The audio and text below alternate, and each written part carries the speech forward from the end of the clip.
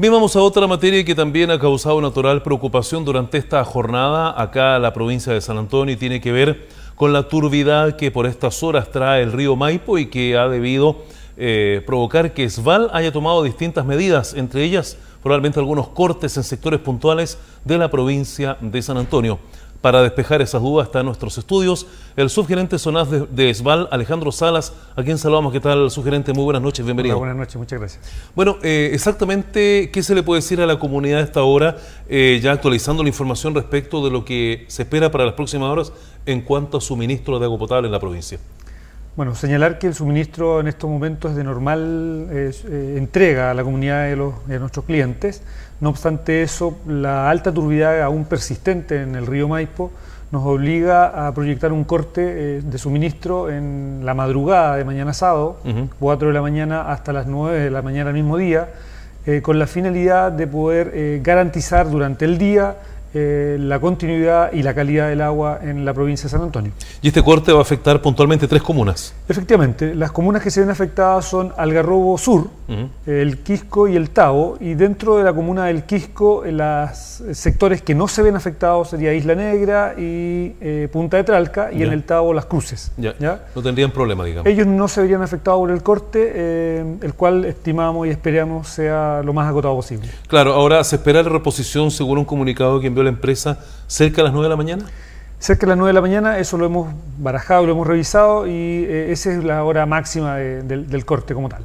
Ahora, si bien es cierto, es bastante agotado el corte y va a ser de noche cuando la gente en realidad no consume demasiada agua, ¿se ha dispuesto algún punto de entrega de agua para las personas? Estamos en estos momentos, desde las 20 horas y hasta las 24 horas, comenzando la instalación de estanques móviles en cada una de estas localidades eh, los estanques van a ser los mismos puntos que tuvimos el, evento anterior, que fue en febrero, por tanto son ya conocidos básicamente por la comunidad, no obstante nosotros a través de de los medios de redes sociales entregaremos la ubicación de estos puntos.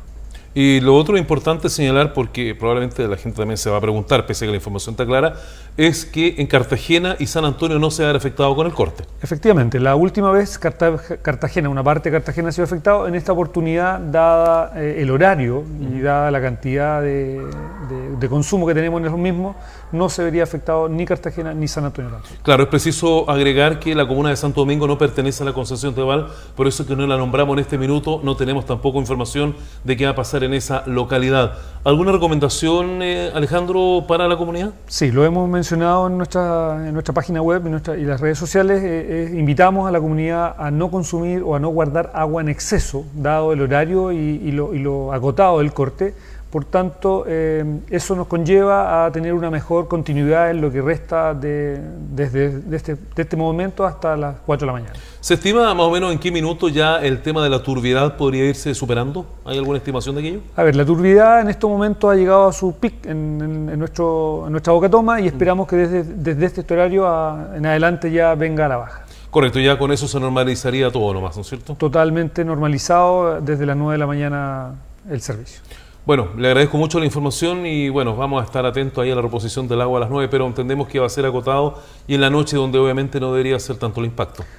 Ojalá así sea y que los clientes no sientan, digamos, esta, esta molestia que se generan por, por temas naturales. Bueno, eh, las redes para obtener mayor información actualizada, ¿cuáles son? Bueno, nuestra página web, eh, www.sval.cl y en Twitter, eh, arroba sval.cl.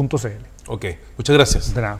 Bien, pues estábamos conversando con Alejandro Sala, el subgerente zonal de ESVAL, respecto de esta situación. Entonces reiteramos, cortes de agua con tarde a las 4 de la madrugada de este día sábado en localidades puntuales como Algarrobo, El Quisco, El Tavo, a excepción de Isla Negra, eh, Punta de Tralca y Las Cruces, San Antonio Cartagena con absoluta normalidad entonces y donde se corte el agua aproximadamente a las 9 de la mañana estaría retornando.